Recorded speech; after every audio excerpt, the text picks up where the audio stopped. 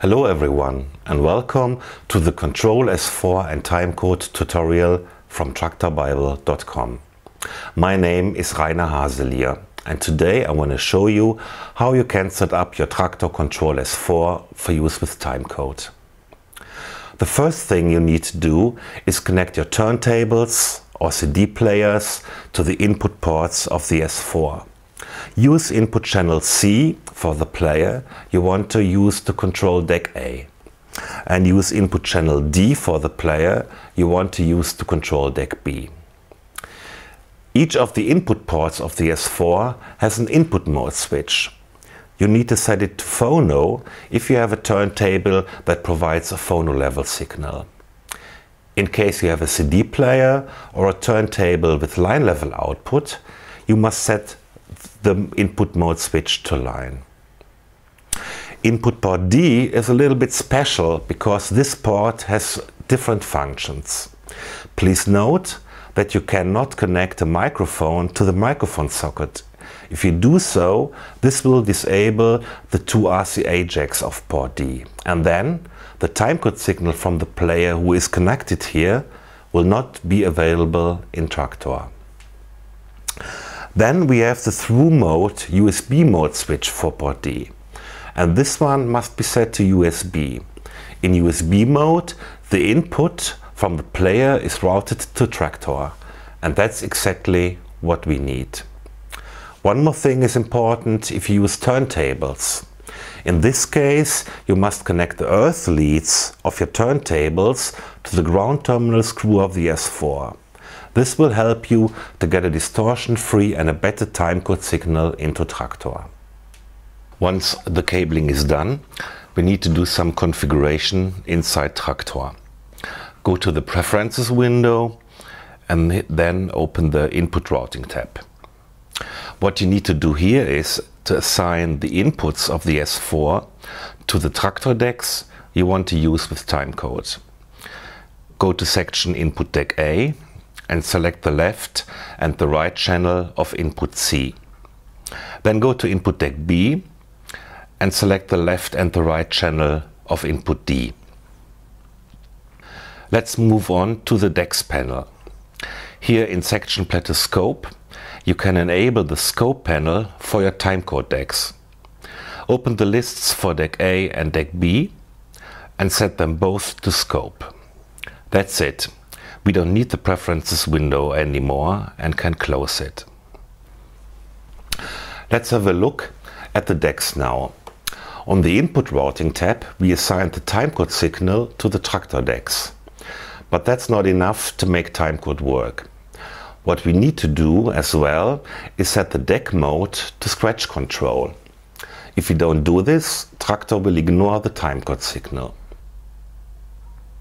To do this, click on the deck letter. This opens the context menu and here you can click on scratch control. Currently internal playback is enabled. That means your deck will be controlled by a MIDI controller but not by timecode. Now let's have a look at the transport section of deck A. If you set a deck to scratch control, the buttons here will change. If you see the buttons with the turntable icons, as here for deck A, then the deck is in timecode mode. On deck B, we can still see the Cue and the Cue play button. This means that deck B is still in internal playback mode. And then, as I said, any timecode signal will be ignored. So let's switch deck B to timecode mode as well. Alright, now that the configuration is done, we can test to see if everything is working. Drop the needle on your timecode vinyl or start playback of your CD player. Now as you can see, the scope becomes alive. When you use timecode on a deck for the first time, Traktor will calibrate the timecode decoder automatically. And during the, the calibration, Traktor detects the mm. timecode medium as well. The medium you use is shown here below the scope. I'm using the 10 minute side of the timecode vinyl. And on the scope you should see the two calibration circles now. The two circles should meet in the upper left corner of the scope. Then the left and the right channel are properly connected. If the two circles meet at the right lower corner, then the left and the right channel are swapped. Here at the right side of the scope panel, you see what's called the timecode quality meter. And the bar in the meter should be completely or almost completely be filled. Then the timecode quality is good. Let's go back to the transport section. The play button activates a mode which is called internal mode.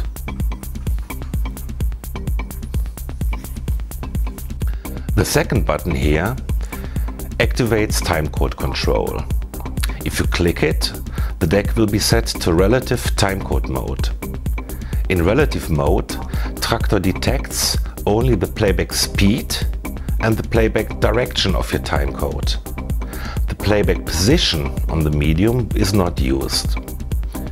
If you pick up the needle and drop it somewhere else on the vinyl, then the playback will resume at the same position of the track where playback was stopped.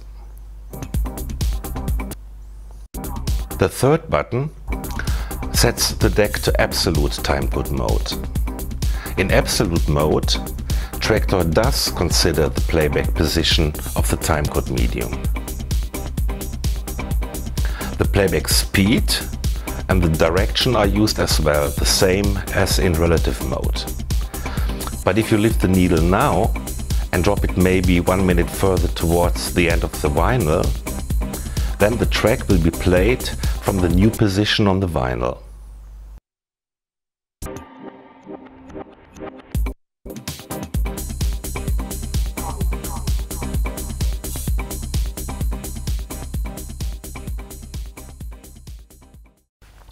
Play button on the S4 always starts playback in internal mode.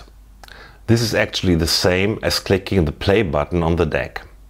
In the default mapping of the S4, there are no buttons mapped to switch to absolute or relative timecode mode. To solve this, I made a little add-on mapping for the S4. You can download the mapping from the companion website for this tutorial on traktorbible.com. If you are watching this video on YouTube, check the description here below. You find the download link there. Download the mapping and then go to Preferences. Open the Controller Manager panel and here you click on Add and then on Import. Go to the folder with the downloaded mapping, select it and open it. Now check the input drop down here to make sure that the S4 controller is selected.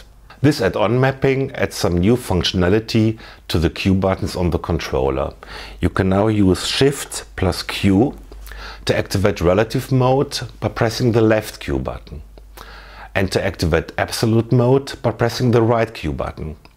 I used the same order as the buttons in the transport section. And the Cue buttons here on the left side of the controller are mapped to deck A and the Cue buttons on the right side of the controller are mapped to deck B. Alright, this ends the Traktor Kontrol S4 and timecode tutorial. Have fun, make some music and I see you next time. Thanks for watching. Adios.